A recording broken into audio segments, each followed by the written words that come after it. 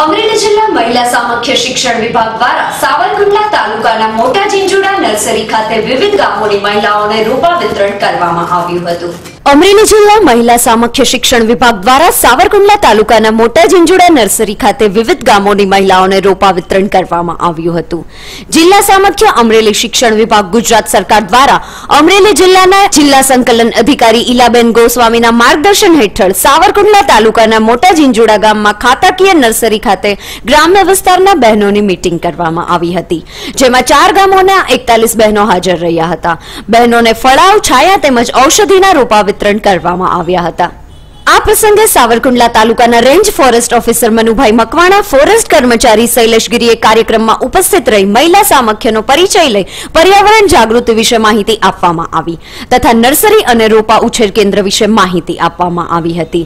પ્રિયદર્શિની બહેન દ્વારા અંગદાન અને કોરોના રસીકરણ વિશે માહિતી આપવામાં આવી હતી. આ કાર્યક્રમને સફળ બનાવવા માટે સીઆરપી હેતલબેન રેણુકા અને કિરણબેન મકવાણા દ્વારા ભારે જહેમત ઉઠાવવામાં આવી હતી.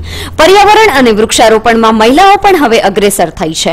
સાવરકુંડલા તાલુકાના વિવિધ ગામોમાં પર્યાવરણ જાગૃતિ અને વૃક્ષારોપણ કાર્યક્રમો કરવામાં આવશે.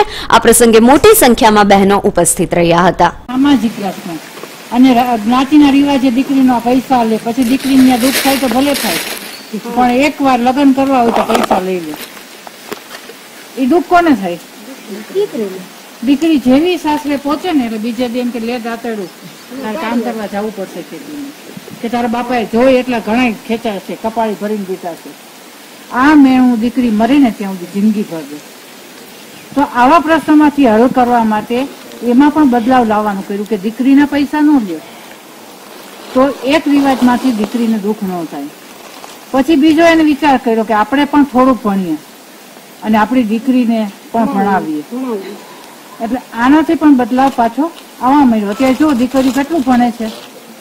નોકરી ઉપર એ બેનો દીકરીઓ જોવા મળે છે ને? કંડક્ટરમાં પોલીસમાં. હવે તો આ ફોરેસ્ટ વિભાગમાં પણ બહુ બેનો આવી ગઈ છે. તમે વિચાર કરો ભાઈઓની સંખ્યા ઘટી જશે. વિભાગમાં બેનો છે. પાયલોટ બને છે.